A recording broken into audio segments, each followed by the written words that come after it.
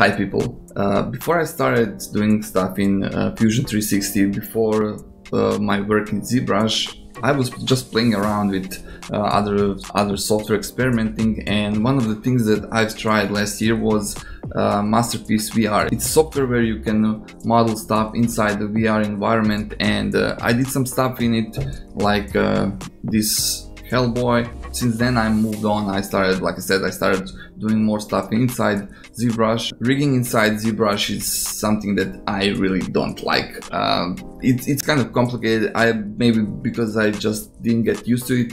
Lately I found out that there's another masterpiece software, it's called Masterpiece Motion and it's actually doing a rigging inside VR and apparently it's pretty fast so I just uh, had to try it. I contacted them, asked them for for for a, a trial version, and I got one. So let's let's just try it and see uh, does that thing actually works or not. So this is Shield Guardian, this is the model that we're gonna use and you can see that I have already made one pose and that was made inside ZBrush.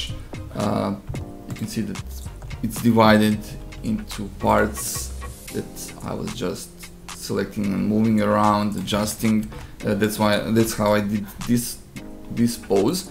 For Masterpiece Motion we're gonna use this version. Uh, it's symmetrical and uh, it's divided only into few pieces uh, so I can easily manipulate everything inside VR and we're gonna export it into FBX and just jump into VR and there it is uh, everything looks fine so we're just gonna remove this point here and uh, start drawing bones. Actually, I'm, you can see this is my point of view, but I noticed that I'm leaning to one of the sides, so I'm, I'm just gonna grab one of the cameras and put it inside the space so you guys can see everything much, much better. Hi. So, uh, we're gonna go into rigging. And I'm just gonna draw bones inside the model. And you can see that this thing goes pretty fast.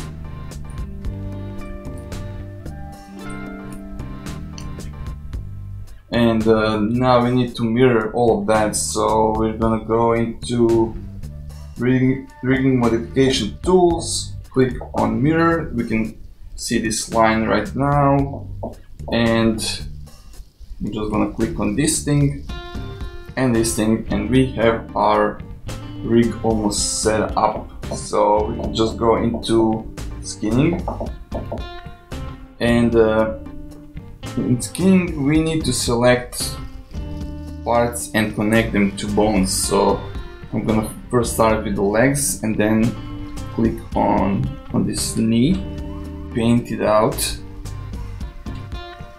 like that. Then I'm gonna click on the other knee and do the same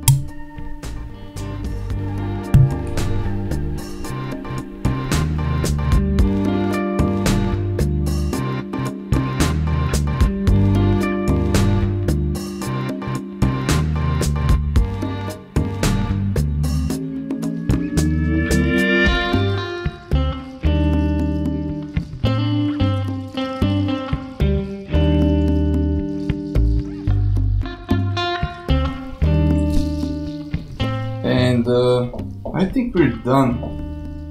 So if you go into animation, uh, there's a add pose option and now we can start moving around our model. you can see it's, it's pretty pretty easy to do everything.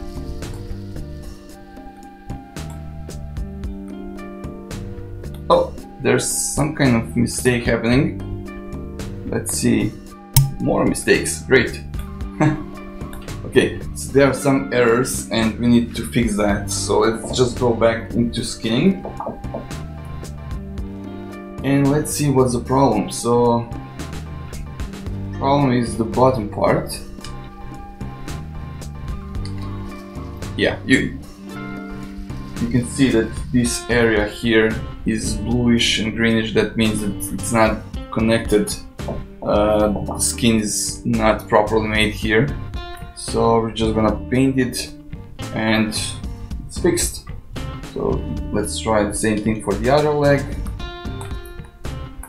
Yeah same thing happening. And done. That's fixed. That was pretty easy. Uh, but there's there is one part that is not assigned at all so let's see. This part knee, knee caps or whatever uh, we should call those uh, are not connected to any of the bones that's why they are in the in the air so let's just assign assign them to to the knee part. Again just be sure that you have painted everything and yeah it's it's connecting properly.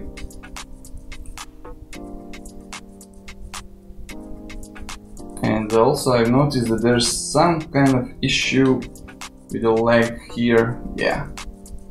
We're gonna fix that. Bam.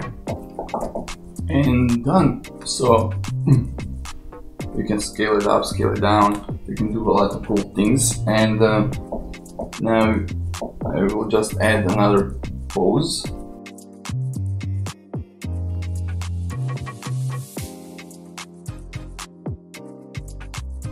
we can we can add another pose.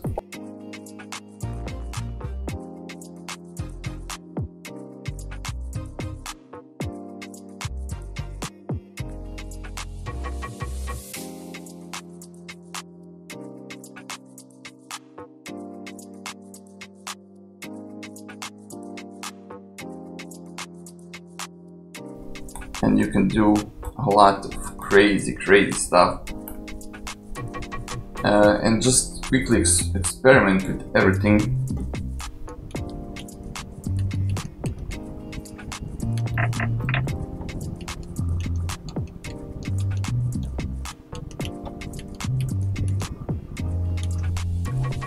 So yeah, um, once you're done with that, we can go through each of those and just check whatever we have made, pick whatever we want to keep. And uh, then we can just go into file export selected model say new pose. And just enter export now we can just check the FBX, see if everything is okay or not, and yeah, looks more or less okay. There are some issues here that can be easily fixed, but overall it looks cool.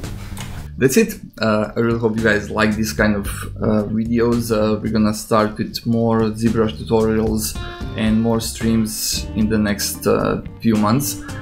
Uh, if you have liked this video, please hit that like button. If you haven't subscribed and this button is still red, just press it and hit the bell next to it so you can get notified whenever I'm releasing a new video. Um, also, you can find this model on my mini factory and my Patreon page.